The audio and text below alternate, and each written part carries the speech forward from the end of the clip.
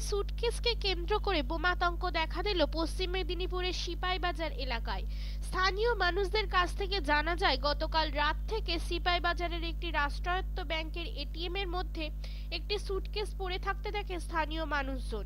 আজ সকাল পর্যন্ত ওই সুটকেসটি একইভাবে পড়ে থাকায় স্থানীয়দের মধ্যে আতঙ্ক দেখা দেয়। ভয়ে কেউ এটিএম এর মধ্যে ঢোকার সাহস দেখায়নি। এরপর ব্যাংক কর্তৃপক্ষ পুলিশে খবর দিলে কোতোয়ালি থানার পুলিশ এসে ওই সুটকেসটি উদ্ধার করে নেয়। পরে অবশ্য জানা যায় কিছু কাগজপত্র ছিল ওই সুটকেসটির মধ্যে এবং সুটকেসটি ব্যাংকেরই এক কর্মীর পশ্চিম মেদিনীপুর থেকে অভিষেক চক্রবর্তীর report news Bangla twenty four into seven টাকা তুলবেন? এখন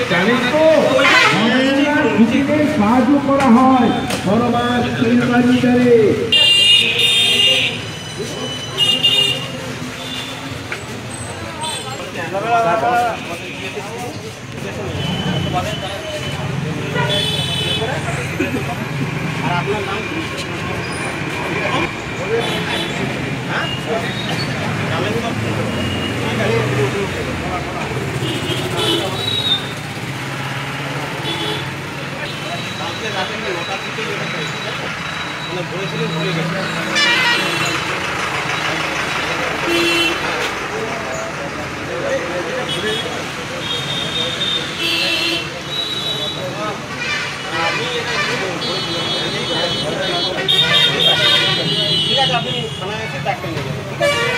ওরা কোনো অসুবিধা নেই।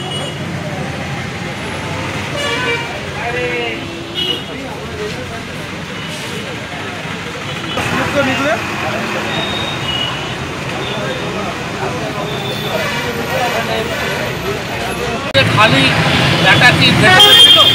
এটিএম এ কেন এটাই ছিল? এটিএম এ ছিল।